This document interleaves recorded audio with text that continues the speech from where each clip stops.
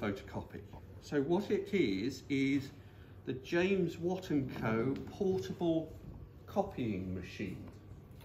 So this is one of the two early technologies for um, making copies of letters.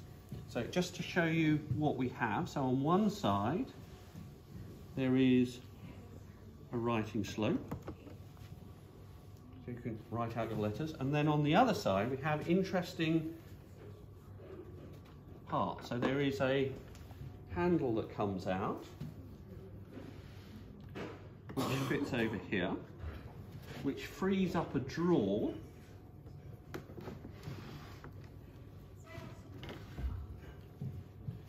which contains this extraordinary contraption.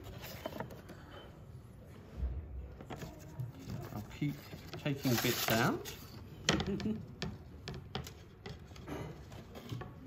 Tin lined drawer which also has a brush that comes with it.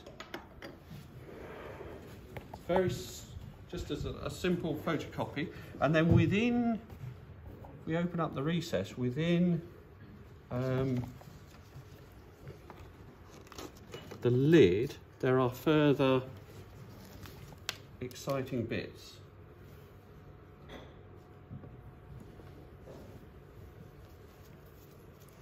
So we have something called a drying book, a wetting book, 70 odd bits of very thin paper and an instruction manual.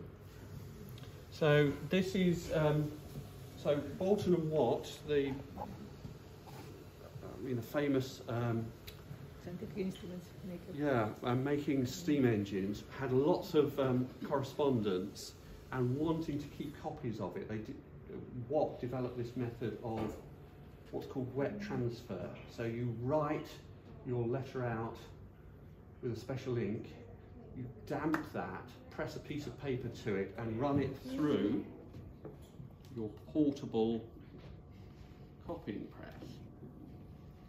But it has two problems. One, that gives you a mirror image. And two, you have to have an ink that allows you to do that. So the mirror image he got round by commissioning very fine tissue paper.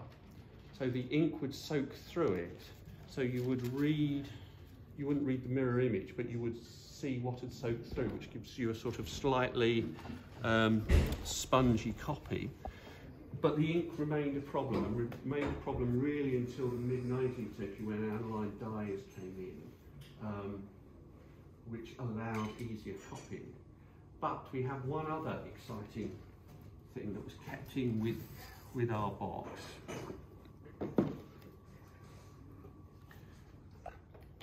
Which are these. They look very unprepossessing when, when they arrived. So two of these. Any ideas? Chocolate brownie. Try it. It is. So this is, and again, there's um, remain just remains of a of a wrapper that went round one that I've managed to track down. So this is a portable ink cake that was developed slightly later than this. So this dates from, well, they started selling these in 1795. Aisle one dates from around, you know, the late between 1806 and 1811. Um, but these ink cakes date from um, around about 1831. Somebody called Morison developed this idea of a portable ink cake, so you could rub it down um, with a bit of water to pr pr produce ink, because what's, there's lots of correspondence about people having difficulty with his inks. He provided it in a two-part powder that you make up uh, that didn't entirely work. And the idea was you would then fill up your bottle that allows you to um, transport a third of a pint of ink and this would originally have come with a Wedgwood, Wedgwood being one of um, Watt's you know, correspondence, would have had a Wedge, uh, Wedgwood um, inkwell as well. So yes, the full, and it took about, you had to plan a day ahead to damp your paper, put it into the thing. So it's not, not quite instantaneous copying, but, and these proved to be quite popular, but not within business circles to start with. So they were expensive, about six guineas this. We're not sure, they came in three sizes. I'm not entirely sure, I think this is the quarto size. Um, but we have a lot of correspondence from William Godwin between the la last few years of the 18th century. He was given one of these and, and used it to record his outgoing correspondence.